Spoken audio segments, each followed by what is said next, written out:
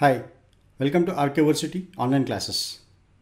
In my previous lecture, I explained you how to calculate a simple moving average and use simple moving average values to identify buy or a sell signal.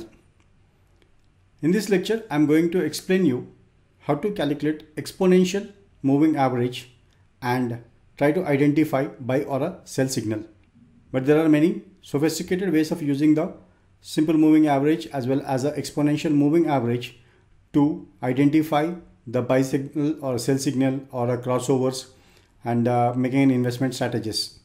But in this course, our basic idea is to give preliminary insights about simple moving average as well as a exponential moving average.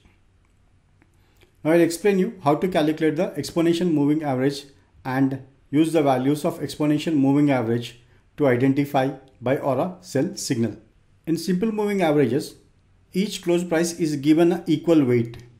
In the sense, if you have a 10 observations, then uh, each day will have will be given 10% of a weightage. That means the weights given are equal. So if you have a 200 day and a 200 day also, it takes a equal weight. However, in reality, the recent close prices of a stock will have a more impact on uh, the future price rather than the older price. In the sense, the price of a stock which is a, a three months older will have a less impact on today's price or tomorrow's price.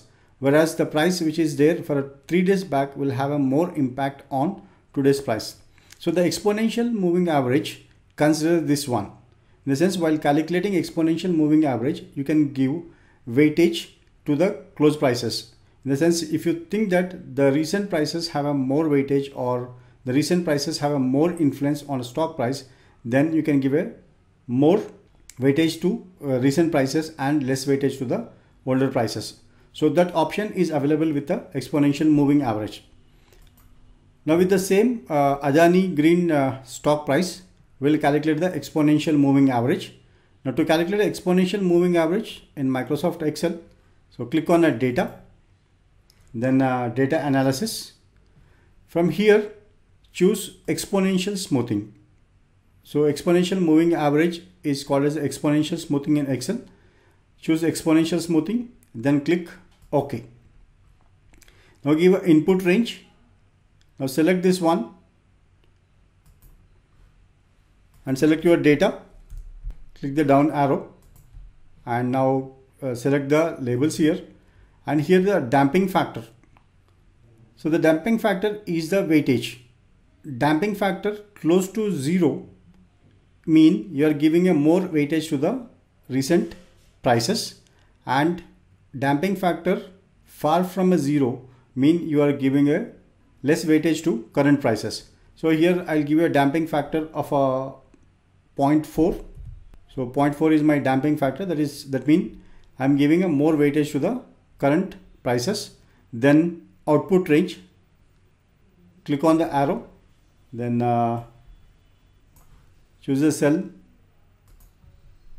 C2 then click the down arrow and then click OK.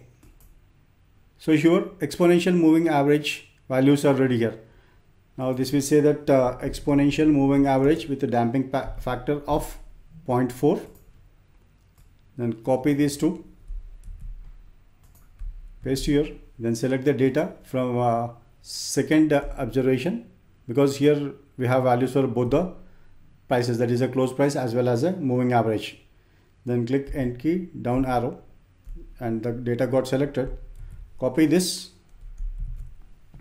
and here paste special that is a right click your mouse button then uh, in a paste special click on the values. Now we plot this on a chart so for that click insert then uh, click on a line charts then line with a marker. And here you can see. So this the Adani green stock is uh, actually in a trend during this period.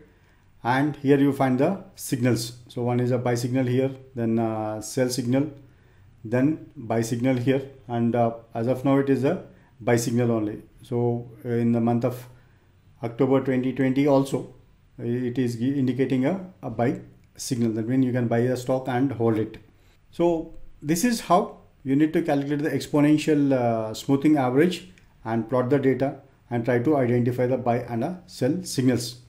But however, the simple moving average, which I explained in a previous class and exponential moving average, which I explained in this class, these two are very basic levels of uh, what might you say is a technical indicators.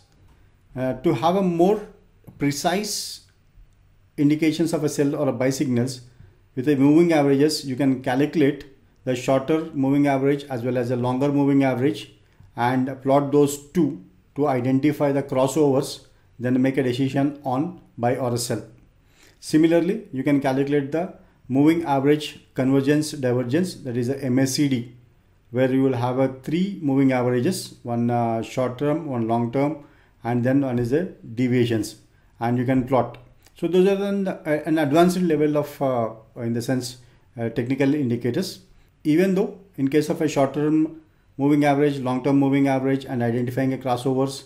Similarly in uh, moving average, convergence, divergence, the basic idea is the same. That is you have to calculate the moving averages. I guess uh, now you are familiar with calculating the simple moving average as well as exponential moving average using Microsoft Excel. This is very simple and easy to calculate simple moving average as well as a exponential moving average using Microsoft Excel. Thank you. Thank you for watching my lecture.